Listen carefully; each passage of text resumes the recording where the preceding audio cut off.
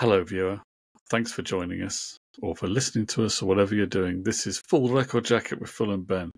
And on this edition, things are a little bit spooky because it's Halloween.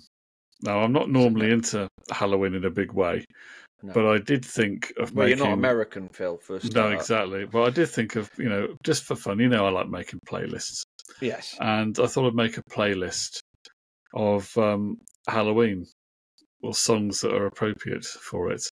Oh, you um, did send this to me uh, uh, yesterday, didn't you? Yeah, we, and I thought I'd miss off the glaringly obvious, like you know, the Monster Mash and Thriller, um, Yeah. Ghostbusters. But I thought we'd put, you know, go a little bit out there and find ones that are, you know, good as well as being appropriate. And I Yeah. must thank some of my online friends because they've contributed to the, some of this. So I must thank uh, Sabrina and Philip and FC and Paul and whoever else commented on my um, my post the other day. But I've got a I've got a groovy list. I- I've seen this. There is one missing that you could have had on. Boy, is it the automatic? What's that coming over the hill? Is it a monster? Oh, I remember that. I've Is forgotten all about. I've forgotten about that one. Yeah, yeah. Okay, Yeah, you could have had that one. Yeah. Could have had that one. So, should we go through the list and see how see whether you know any of these? Yeah. So it kicks off with well, who else would it start with? Alice Cooper. Welcome to my nightmare. Not heard. I mean. I mean, Alice Cooper's kind of a. I mean, you can kind of imagine what that's going to be like, can't you? yeah. But Alice Cooper's kind of a Halloween genre in himself, isn't he? Really. So. He needs to stop dyeing his hair. That's what he needs to do. He needs to go grey gracefully. McCartney learned this. There's a lot to be said for going grey gracefully. Now, the Rolling Yeah. Stones, a lot of people, if you ask them what's a Rolling Stones track that's appropriate for Halloween, a lot of people say Sympathy for the Devil. Yeah. But I would say, yeah, okay, I get that, but it's not, it's kind of, I don't think it's really Cliche? about, it's, well, yeah, it's not, not about Halloween in any particular way. And I think um, another one that people can come up with, which is kind of clever, Paint It Black. But again, it's, you know, yeah, okay, I get get it, but it's not really. But the Stones have got a Halloween, what I think is a, a groovy Halloween classic, which is the opening track on 1973's album Goat's Head Soup, and that is Dancing with Mr. D. As it all takes place in a graveyard, Ooh. and they're dancing with Mr. D, and then Mick Jagger ends up dancing with Mrs. D as well. But I mean, what what else do you want but a a kind of funky rock song about dancing in a graveyard with monsters? Uh, well, yeah, and as long as Mr. D is is happy with Jagger dancing with Mrs. D, and and he isn't trying to get away with the double D's. there Uh, you go. So I, I think that's an underrated track for Halloween Dancing Yeah, with Mr. yeah. D. Um, I've also included on my list. I've included the from the Super Deluxe Edition, the Glyn Johns mix, which has a guitar solo, which I think must be by Mick Taylor, which is not on the final version. So it's a I put a groovy version of Dancing with Mr. D on this list. We'll put, put a link below. Um, David Bowie. Any idea what the David Bowie one is? I suppose he's got a few songs that could be a bit spooky, it's hasn't be he? scary monsters, isn't it? It's Scary Monsters and Super Creeps, the title song. And then John Lennon, track from the Walls and Bridges album. Can you think what that would be? No. Scared. Oh! Yeah. Um, got a B side from Madonna, uh, which is the B side of Cherish, came out in 1989. You've gone full on nerd, haven't you? I? I have, um, and this is you can get this on the Like a Prayer expanded edition. It's a song called Supernatural, in which Madonna basically it's a funky little song in which Madonna has an affair with a ghost. What what else could you want? Yeah, I mean, Um, then, just for some familiarity, I've plunked in there Warren Zevon. What's Warren Zevon's Halloween classic?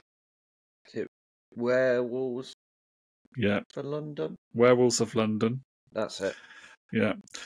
And then I've gone a bit spooky. Um, Tom Waits from his album Mule Variations and a spoken word. What's he building? That's that's just because it's kind of spooky. You you got to hear Ah, that track to really yeah, get it, but yeah, it is yeah. kind of spooky. But it's about he's spying on the neighbour and wondering what he's building, and it's all weird. So, and that goes to um, another veteran, Bob Dylan, "My Own Version of You," which you kind of got to hear to believe it, but it's um, it's a weird one, but it's it's Bob Bob at his most spooky. I'll leave it. Spooky I'll leave Bob. it. It's a little bit spooky. Um, Johnny Cash after that. Ghost Riders in the Sky. You must know that one. I think I have heard it. Yeah, it doesn't. It doesn't. Old song, but I think it's not the original version. Many have done that one, but uh, Johnny Cash kind of I keep wanting to go riders in the storm. it's the ga- it's the cowboy who sees the Ghost Riders in the sky. You know. Nah. Um, PJ Harvey, Meet the Monster. Ooh. From, I do like a bit of PJ Harvey. That's from um, To Bring You My Love. And then The Cure. Can you guess what song is by The Cure? I mean, they've, they've possibly got a few spooky contenders, haven't they? But I've chosen this one. Hmm. It's about being eaten for dinner.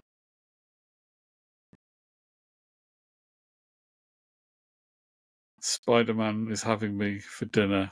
Oh, lullaby. Lullaby. Yeah.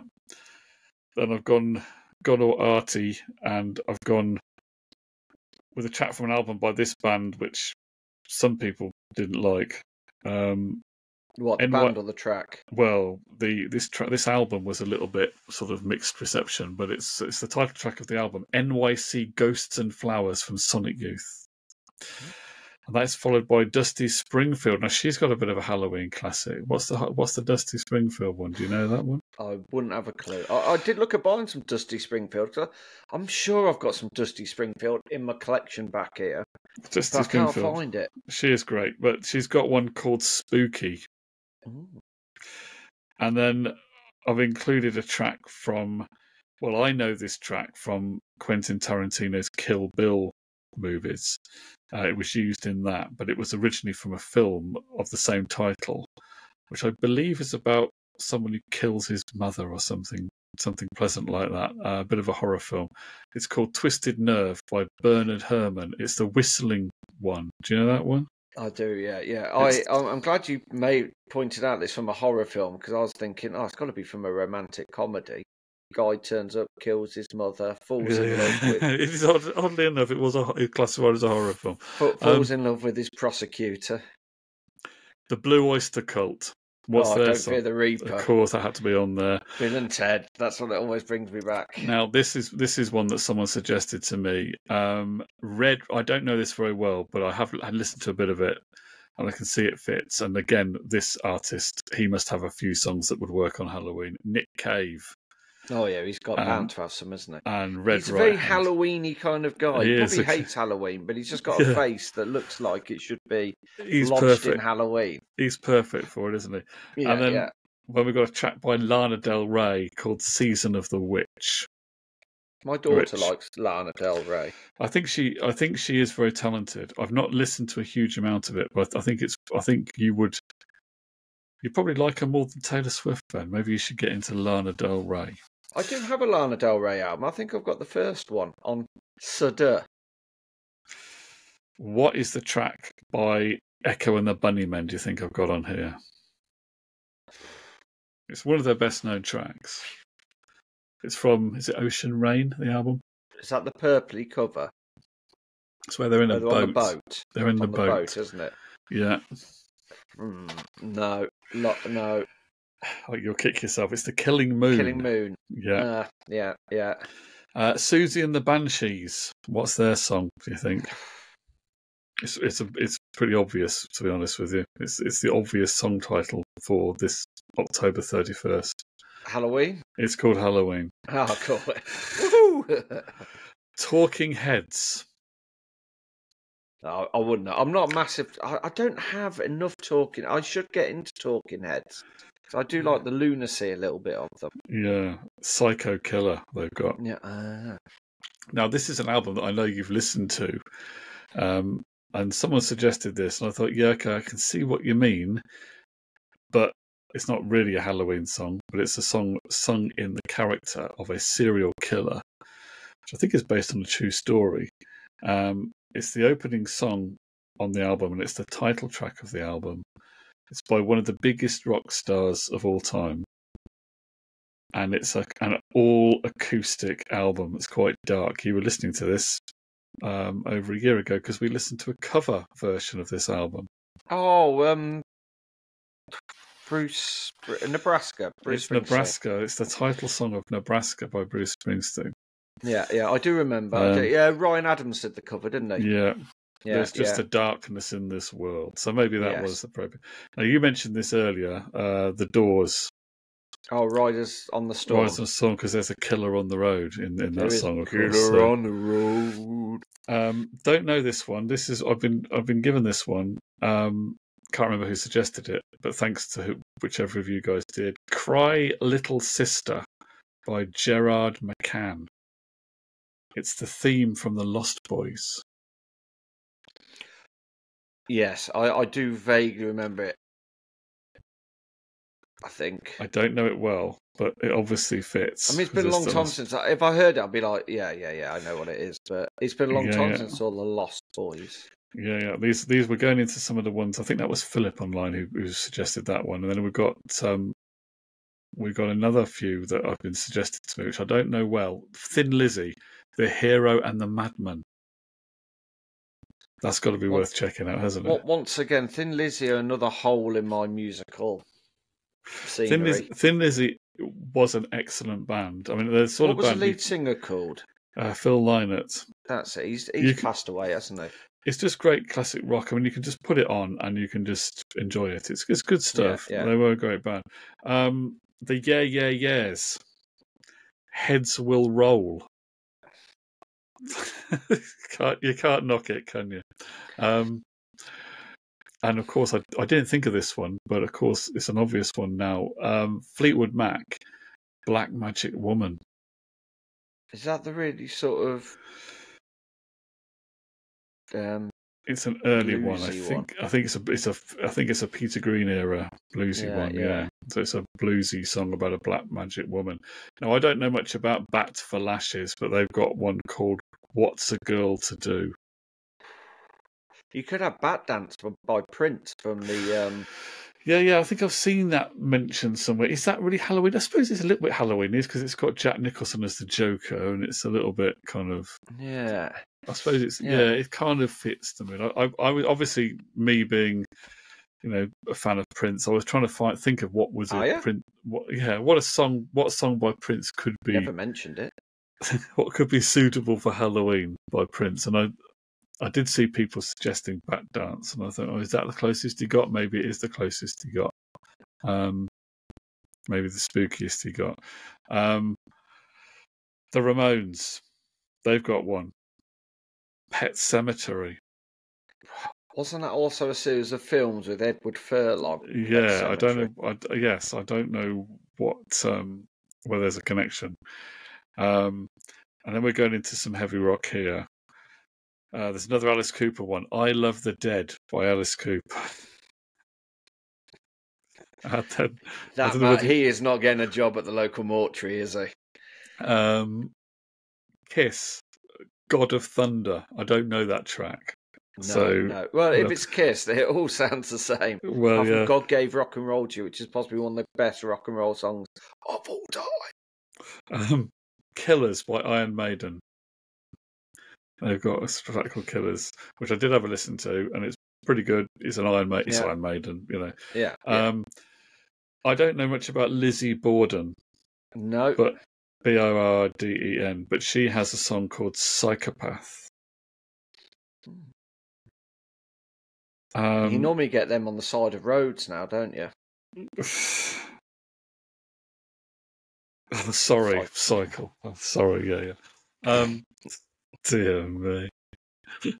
um, now, Sabrina in Florida came up with two here, which I thinking, yeah, okay, I get this. White Rabbit by Jefferson Airplane. That is spooky, isn't it? Yes, yeah, yeah. That is a good track. That's the track that got me into Jefferson Aeroplane I think it's in I think it's really 2000. I think it's really about being on LSD, isn't it? But it's it Yeah, is yeah. scary as anything. Yeah, Um, And then Joy Division's Transmission single. yeah. Yeah, I can see that. I can see how that works. Yeah. Yeah. I No, think I just Ian Curtis's delivery on most songs is quite spooky. Now the other one I've got on here, which I added on, someone said, um, Ministry. I don't know. Ministry. That's a heavy metal band, isn't it? Ministry. It's, yeah. I'm sure it is. Um, Every day is Halloween by Ministry. Yeah. No, that, that, I mean Ministry of Sound. I know, I know that because everybody had the annual too. Um, but no, they're they're not in my scope. Ministry. And then there's one by Pink Floyd. Now, can you guess what is the Pink Floyd one? No.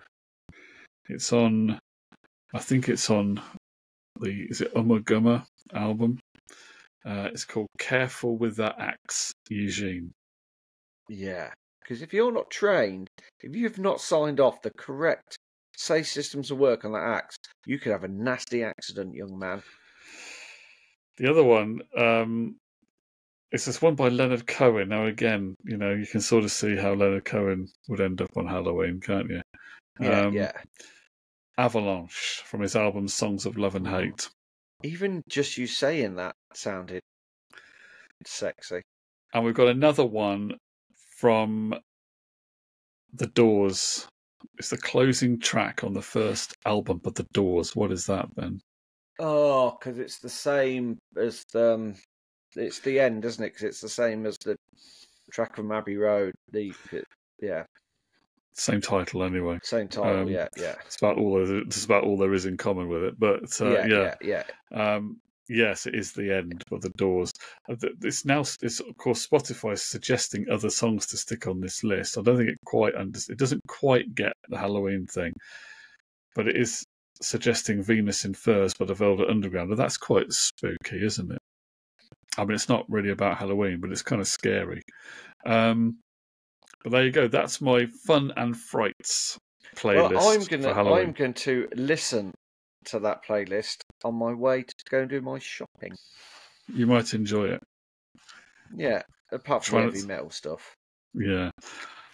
Try not to scare yourselves, listeners, but that is our Halloween playlist. Let us know what you think. And is there anything that I've missed off there that we could have on as well? Let us know in the comments. In the meantime, thanks for watching. We are frightfully grateful to you. We'll see you again very soon. We hope.